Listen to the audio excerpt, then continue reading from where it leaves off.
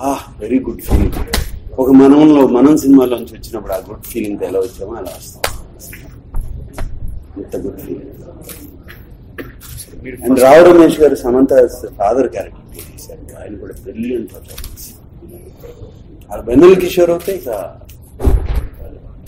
అంటే దీంట్లో కామెడీ చాలా డిఫరెంట్గా ఉంది. అంటే దెయ్య దెయ్యంతో కదా ఆయన కామెడీ అంతా?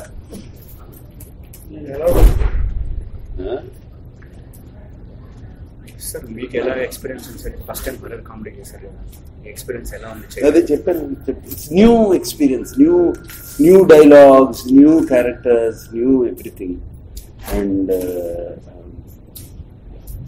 I'm very happy I don't have ఒక రొమాంటిక్ లీడ్ ఉండి మళ్ళీ ఒక పాట మళ్ళీ అటు జరిగి ఆ గొడవ లేదు. సినిమాలో.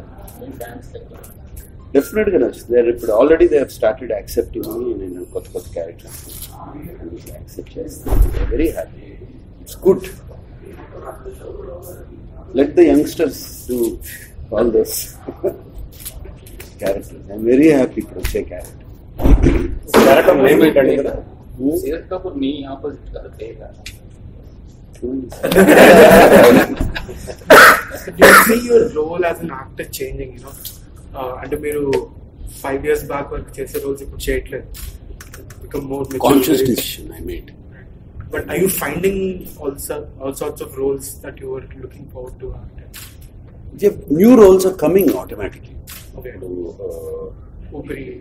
ఊపిరి వాజ్ ఎగ్జాంపుల్ భయపడుతూ భయపడుతూ వచ్చారు నా దగ్గరికి వచ్చి ఆ ఊపిరి సినిమాకి నాకు ఫ్లాష్ బ్యాక్ పెట్టారు ఒక యాక్షన్ సీక్వెన్స్ దాంట్లో నా నడువు ఎరుగుతూ ఆయన అవుతే నేను చేయను ಗೊತ್ತು ಅಸಲ ಗೊಡೆಯೋದು ಬಿ ಸಿ ಬಸ್ ಇಲ್ಲಿ ಬೇಕು